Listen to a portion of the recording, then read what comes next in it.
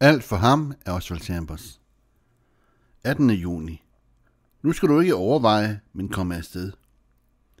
Det fortælles, og Peter vandrede på vandet for at komme til Jesus.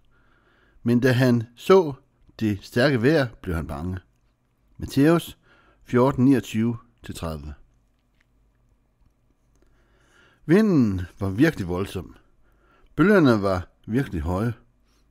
Men Peter så, så, så slet ikke til at begynde med. Så slet ikke til at begynde med. Han regnede ikke med dem. Han kendte sin herre, og i det han genkendte ham, gik han ud, på, ud, ud, ud af skibet og vandrede på, på vandet. Så begyndte han at regne med de virkelige forhold. Han sank øjeblikkeligt. Hvorfor kunne Herren ikke have sat ham i stand til at gå både i bølgedalene og på bølgetoppene? Hverken det ene eller det andet kunne gøres uden at kende Jesus Kristus. Vi er i god gang med at vandre derud, lige ud. Hen over tingene i tro til Gud. Men så kommer selvbeskuelsen over os, og vi går straks under. Kender du din herre, har du ikke noget at gøre med, hvordan han arbejder med dine forhold. De virkelige ting er til, men i, det, i samme øjeblik, du stiger på dem, er du overvundet.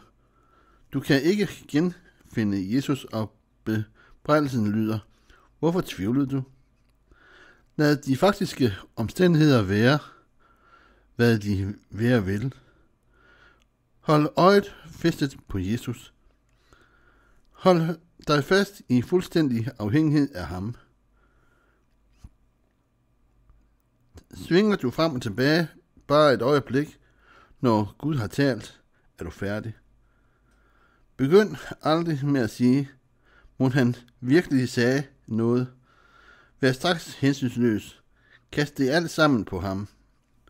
Du ved aldrig, når hans stemme lyder. Men når som helst Gud kommer, selv på den sværeste tænkelige måde, giv dig da hensynsløs hen. Det er kun ved at hengive dig, du genkender ham. Jo mere hensynsløs du, du giver dig hen, des tydeligere vil du høre hans stemme.